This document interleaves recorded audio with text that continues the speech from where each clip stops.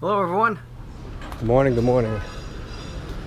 Well, I uh, took the morning off. I was feeling a little run down. So I'm only going over to the Manchu Imperial Palace and the Middle Street, pedestrian street. So I figure five, six hours is more than enough time. Plus, I'm gonna take the subway. I'm gonna take the subway in one direction. I might try to walk back. And uh, gonna get some water here. This water, this is the place from last. I'm looking for the woman I bought it from last night. She only charged one kwai per bottle. I think this is her. Hold on a second.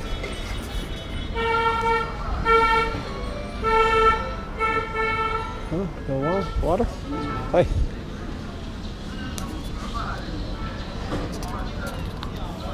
She might be farther down. Yeah, it's a 550 milliliter bottle for one kwai. That's about as cheap as you're gonna get uh, if it's not free.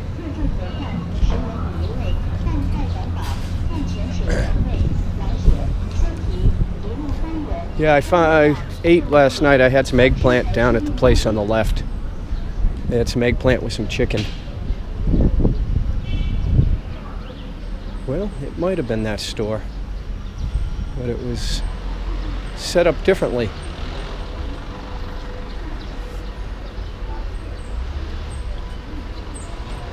Or Maybe it's this one here. Yeah, I think it's this one. Yeah, this is it. Here.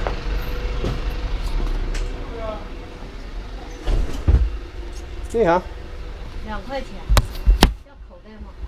Okay. All right.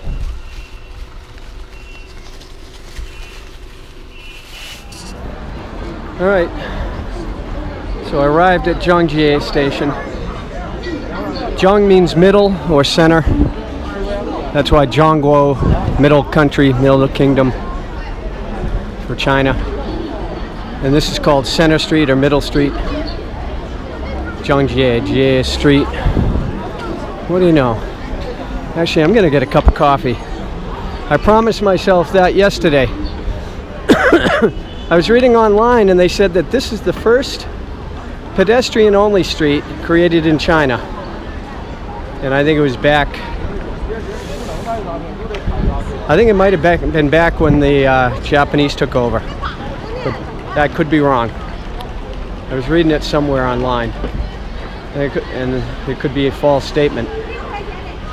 All right, so I'm going to explore this later. I'm going to head over to the uh, Manchu Imperial Palace to start. And then I'll come explore this, you know, later. Maybe when it gets darker. All right, all right, I'm going to reward myself with a coffee. Because, uh, boy, I could use that jolt right now. All right, signing off. And uh, my phone has a compass on it. So when I know the orientation of the map I have on my phone, I can uh, I can use the compass. There's these uh, kiosks all over China now, where you just use your phone to pay because everything they do everything with their phone in China. Banks, uh, every everything. It was amazing. So this cost, the coffee in China costs 10.5 kwai, and it's just one size. They don't have different sizes because I asked for a large and I always get a the same regular cup. So that's actually a dollar and uh, 70 cents. So it costs more for the coffee in China than here. Okay, so I've got my orientation. The map actually was not oriented, so I had to reorient it. And you'll see that this is uh, a lot of shopping. Chinese love to shop, love to shop.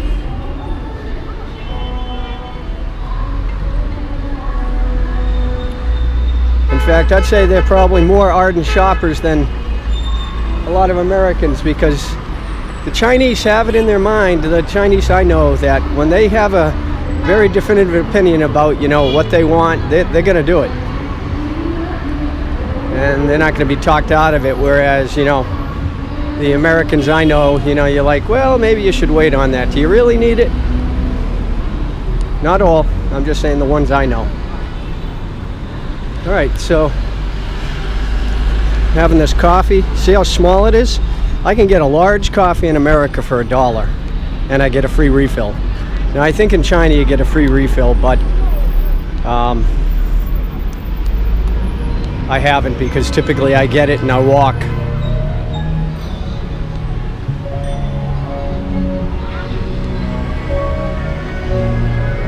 All right, so I'm gonna sign off for now. And I'm going up to, I think, uh, another couple of streets, then I take a right, and it takes me right to the Imperial Palace. Now the Imperial Palace, I read online, it's like a smaller version of the Forbidden City. And um, it was the capital, I think for the Qing dynasty, if I remember correctly, but only for a short period before they moved it to Beijing. I really don't know my Chinese history very well. You know, I read it, I hear it, and I just don't retain it. All right, signing off. Well, when you see tour buses lined on the street, you know you're someplace where a lot of Chinese tourists go. And they love to pretty up these type of streets for all the stores. Sell lots of stuff, food, knickknacks. Maybe I'll look for some knickknacks to bring back. Well, probably not here, because I still have another month to go. And I hate carrying stuff, I really do. You know, if you went one place and you packed your stuff and you left it there, it'd be no problem, but when you're moving every day, every other day,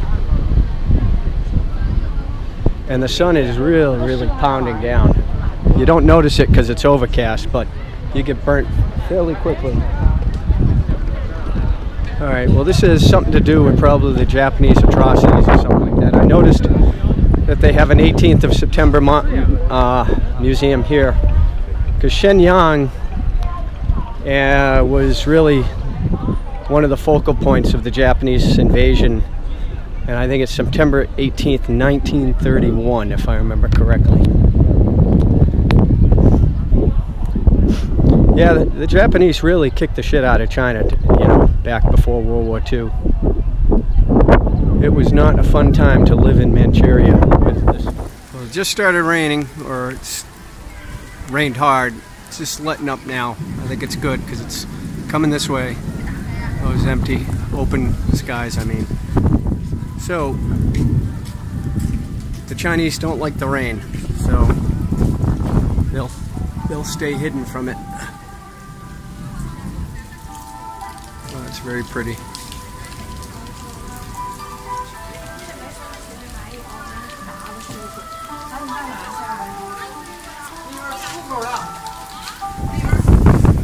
could argue that, you know, you'd argue that the rain makes things cleaner, but uh, I'd rather have it dry myself. Because then this stuff is slopping up all over your feet and your legs. It's gross. I saw lightning coming down over there, so just gotta be careful. It's right overhead now.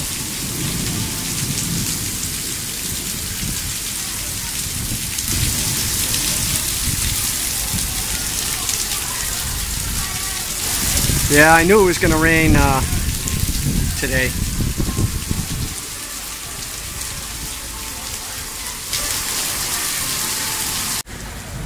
I've got my raincoat on, but doesn't protect the feet. You see it turns it into a river. Not fun. Ay, ay,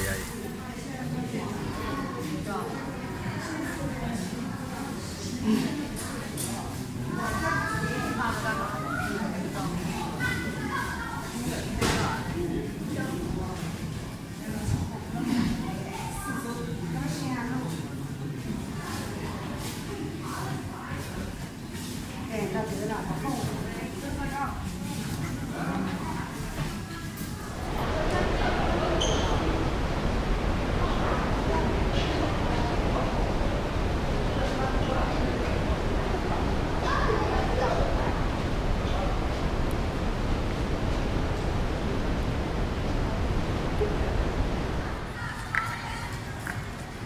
Looks like a soldier, doesn't it? It's called APE, A-A-P-E. Little kid's on like a harness. Usually they uh, they put them on like uh, their back, but that thing's got a cord and kid's pulling away and almost tripping people. All right, I'm back to Middle Street.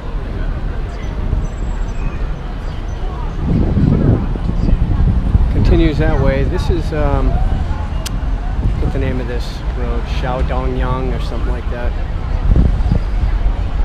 So that's heading north. So that's the direction I need to go if I'm walking back. This is the direction of Middle Street.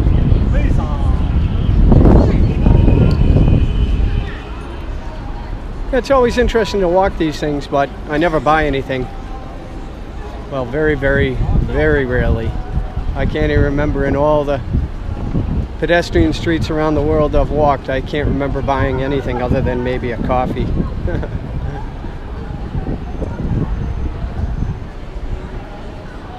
you usually overpay on these streets.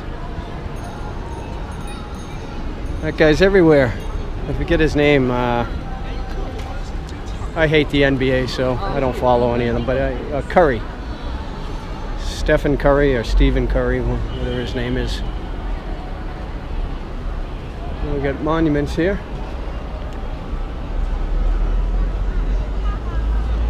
I don't know how they maintain that position. They'll be down there for 20 minutes.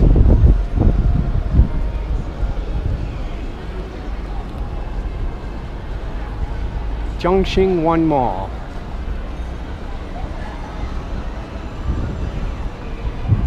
Pizza Hut. I've been to Pizza Hut two or three times in China over the years. It's okay.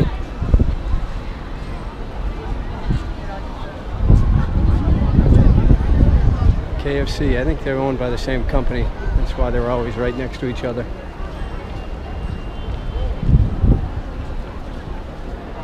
Food. More pizza. Tommy Hilfiger. I do. Well, I'm sure this lights up pretty bright at night, but we're still several hours away from hey, U.S. Army. What do you know? So they have these side alleys, and this is where the, all the food is, I believe. Looks like there's a jewelry store of some kind there. So you can get meat on a stick, or juice, teas, milks, tofu, spicy, not spicy. Yeah. Hot dogs, meat. Yeah. Corn. Fish. Uh, Shenko, Shirko or Shenko is the word for barbecue. And I believe uh, some people told me that this place is really known for their barbecue.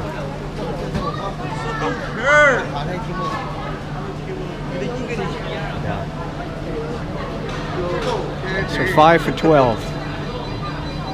That's what I think that means. That's not bad, five for 12. But uh, I'm on a reduced eating plan because I'm too fat. So, anyhow. Oh, buer, 谢谢. Oh, uh, uh, 不可以，谢谢，谢谢你，Thank you. 这个是呃猪肉吗？现磨，是吗？对，哦好吃的，很好吃，你尝一尝。哦哦没事，可以，可以。啊，不可以，I I can't，谢谢，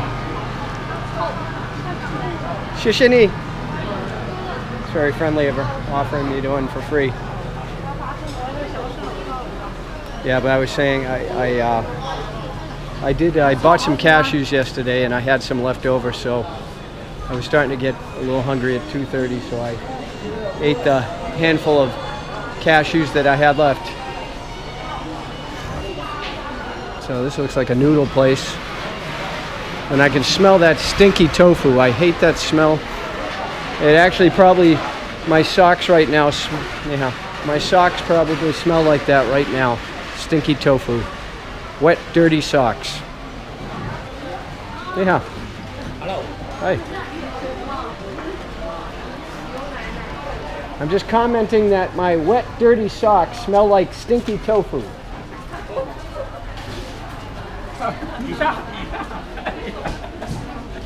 oh, I thought you spoke English.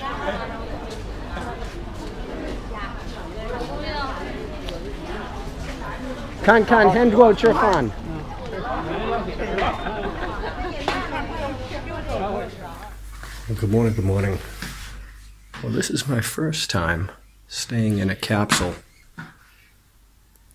I looked at them in Japan, but it never worked out, so I actually took this one down there. It was uh, 50 RMB, which is more money than, than it probably should be. But I'm gonna stay here last night. I'll stay here tonight.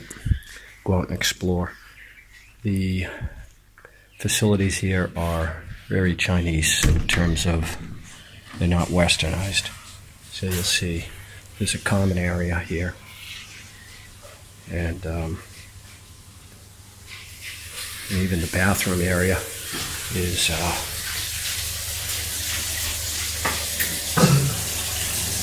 it's a See, it's a squat toilet. So if you're used to a Western toilet, then uh, then it's not uh, not what you're gonna get.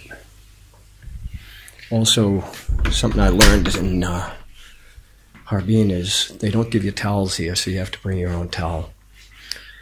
Which, when you're hauling around gear, you know you don't want to haul around anything extra. So I mean, I have a small little rag that I use. That's it. Basically, this is um, this is the difficulty of traveling this way.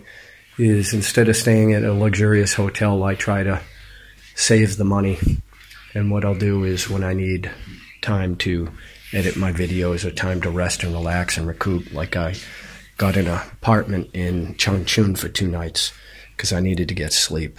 And the quality of sleep in these things, it's not terrible. It's not like sleeping outside but it definitely is um, not as convenient as if you're in a nice, comfortable bed in a quiet room.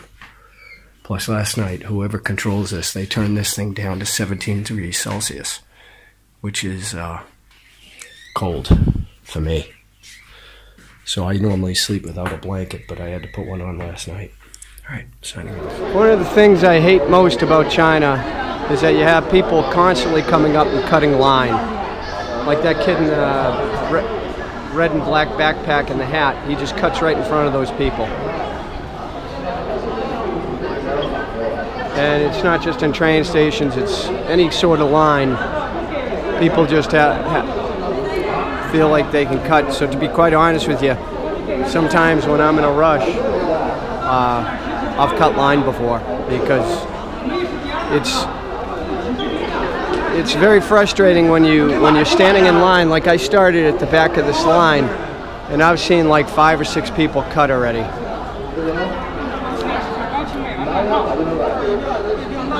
See, it's up to these people to tell them to go pound sand.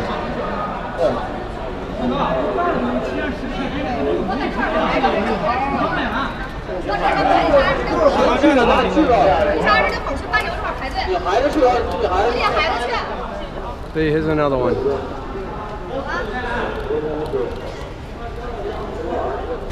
Well, good morning, good morning. Just finished getting my ticket at Sell Tickets. Took about uh, 30 minutes, approximately, waiting in line. It was a long line with lots of cutters. So it moves fairly quickly. The scary part is, is if you get in the wrong lane, south exit, now I gotta get the entrance A1.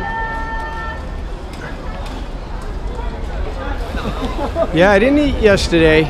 Um, I didn't get hungry till I was ready to go to bed, and by then, too bad, so sad.